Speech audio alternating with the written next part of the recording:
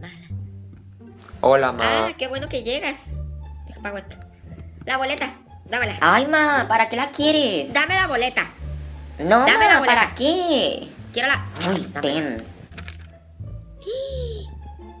Te tronó. ¿Te tronó? ¿Te tronó?